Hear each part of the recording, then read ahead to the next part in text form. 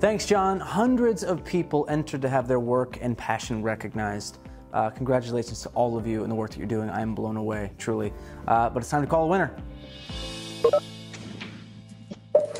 Hello. Hi, Christelle. How are you? You have won the 2020 Cisco Youth Leadership Award. Congratulations.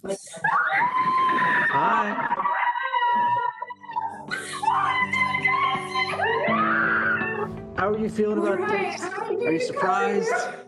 Super, super surprised. Nick, the work we do, keeping water running for hundreds of thousands, uh, we're gonna scale to millions because we're tackling a challenge that affects 400 million people across Africa and over 2 billion worldwide. And we're at, uh, we're growing right now. Uh, and we look in 10 years, uh, this prize being a huge catalyst for this.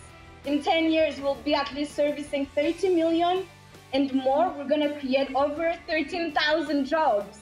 Because when we give water, we also create jobs. So this is a huge catalyst for us. I still cannot believe. This is my work family. Well, congrats to all of you. And Christelle, thank you again. You change the world. Thank you, Nick. Thank you. Bye.